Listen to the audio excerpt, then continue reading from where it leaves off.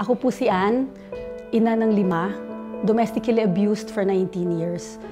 Pumayag po ako na pabugbog, pumayag po ako na pagsalita ng masama kasi po akala ko parte lang ng buhay yon, parte ng pagiging asawa.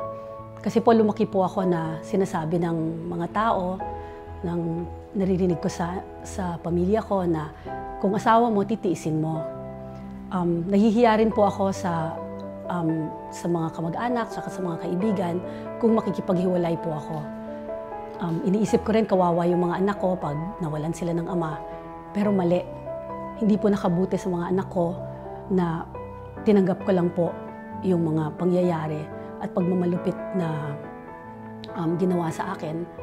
So, sa lahat ng kababaihan, may karapatan kayo, lumaban kayo.